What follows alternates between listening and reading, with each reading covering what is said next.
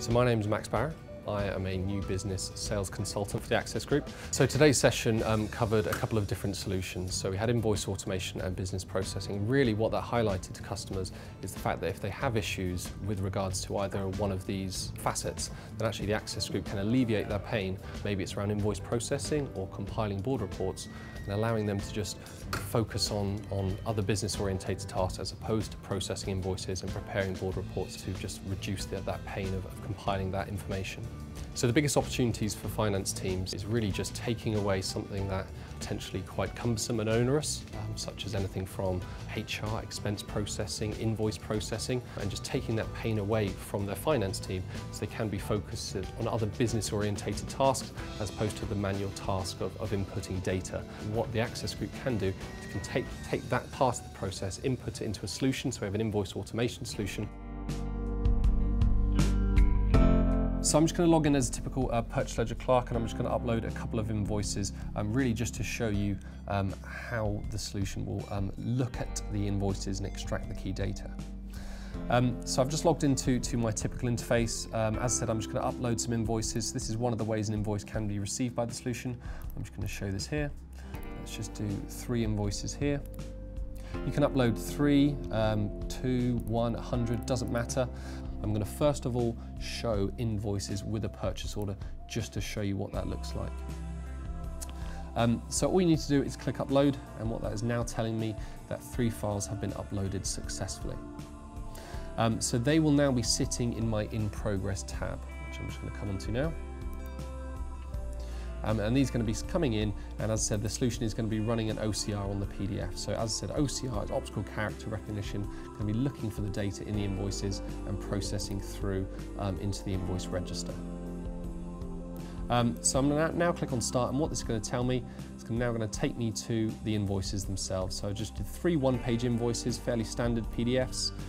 Um, so worth mentioning that these the solution has never seen these invoices before. The only thing I have done is set up the supplier on the supplier ledger within Access. Um, so the solution has correctly identified this um, invoice is for Hawk Wholesale. That could have been the fact it says Hawk Wholesale, um, but it also does logos, but it also uses all the metrics within Dimensions. The solution will use all of those metrics to essentially make the best guess that this is in fact the same supplier. So Hawk Wholesale is correctly identified. If I tab down, um, you can see here that it's um, correctly brought up the invoice number, so all I need to do is press tab to confirm that information. And if I just tab down, just making sure that all the information is correct. The solution is all around teaching though, so if in fact if this was incorrect, you can teach the solution where the missing information is. And in order to do that, if I wanted to capture this is the purchase order, all I need to do is draw a box around it and that would now be captured as the PO number. Obviously that's not correct, but that's just showing you how you can teach the solution if there is any missing information. Only once all the boxes have been green ticked can you process out. What that'll automatically do is going to take me on to my next um, invoice.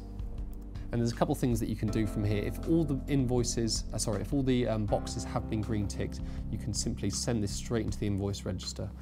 What I've done is I've made it come to this stage just so I can show you that all the information has been captured. Okay, um, so there we go. So that was just two invoices um, that's gone through there. Um, that's all I'm going to show you for those particular invoices. I'm now going to go onto the invoice register, um, so hopefully familiar territory to you guys, and you can see that these have come through straight away. So dated today, this is one from Hawk Wholesale. Um, you can see um, that the order number is attached, the invoice number was there, all that information has come straight in here. So again, it's very simple for the solution to just simply feed all this information into the invoice register.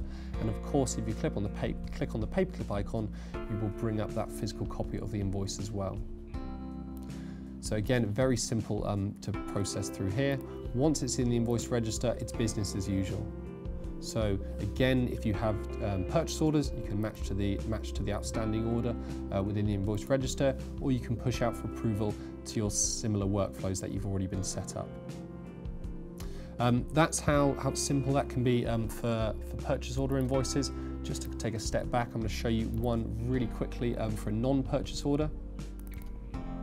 Um, so all I'm going to do, this is a non-PO, so we're going to be capturing the line items and it's going to be going through the same process as before. Um, that's going to come through in just a second. We're just going to wait for that. Um, again, as I said, just to really um, come back onto it. You're not going to be waiting for this to come in. You can see this is now sort of in the status um, bar here. Document export in progress. It's just running the OCR.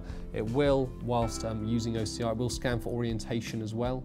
So if something has been scanned in um, landscape, it will flip it to portrait as well. So it's using all that information um, to capture that there. So that this is it for, for a line item invoice. Um, again, very similar workflows, but as you will not be matching to a purchase order, we're going to be keying in the line items. You can see this particular invoice has gone straight through into the invoice register because it's a familiar format, one that I'm used to. You can now see, um, here it is Monterey here. Um, you can see there all the information has been brought in and all the line items will be brought in as well.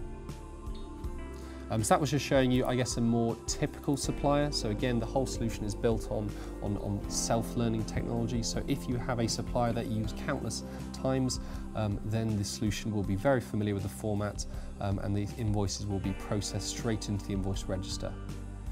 The KPIs that the solution will try to hit on a brand new invoice is about 80%. So if you have a new supplier with a brand new invoice, um, it will pick up about 80% of the information. Um, can be 100%, really just depends on the image quality, um, and then can be processed out. Um, so that is it, and the final place to show you from this, so that is the, the capturing of the invoice detail, also the document management. The final stage is we also have a, an approve tool, so invoice approval. Um, just a word of warning, if you use Focal Point for approval, um, this will be not necessary for yourselves. You would still remain with um, um Focal Point Approve. A-Cloud Approve is essentially um, a sister solution of, of, of, Focal Point Approval, where essentially invoices will come through to yourself. This came through um, today. You can see here, um, this is for an organisation called Tufte Consulting. It gives you all the information um, from your um, login. You can see the actual invoice itself. You can zoom in, you can zoom out. You can obviously approve, but you can also analyze as well. So you can see these are defaulted to the 2000 purchasing code. If you have the ability to, you can change the costing of these um, and you can even put holds on the invoice as well. So really very simple. You have all the information. I can see who the approvers are at each stage. I can write comments on this. So again, all of this can be done from a tablet device as well. Um, so you do not need to be restricted um, to the office. You can send out approvals to, to whoever you is, whoever you're with. Uh, budget holders, line managers, finance, whatever it is, um, and push them out for approval. And approve and reject um, is very simple as well. So customers can find out more about these products. I'd say the best point of, of, contact is your account manager. I love working with customers. I love getting in front of customers. Each one is going to be unique. Each one is different. So we can just listen to our customers and see what we can offer so we can hopefully help our customers achieve their growth plans.